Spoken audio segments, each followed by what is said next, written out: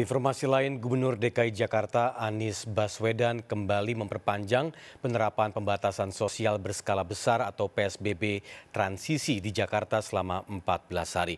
Perpanjangan PSBB transisi melihat kasus COVID-19 di DKI dinilai landai selama dua minggu terakhir.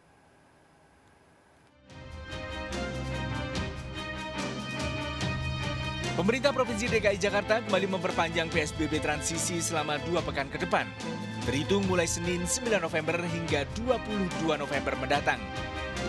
Keputusan ini diambil Pemprov DKI lantaran penyebaran virus corona di ibu kota selama dua pekan terakhir dinilai landai.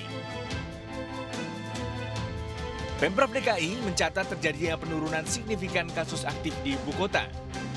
Kasus aktif tercatat menurun sebesar 55,5 persen selama 14 hari terakhir, yaitu 12.481 pada 24 Oktober menjadi 8.026 kasus pada 7 November 2020. Tingkat kesembuhan juga semakin menunjukkan tren perbaikan dengan 90,7 persen pada 7 November 2020.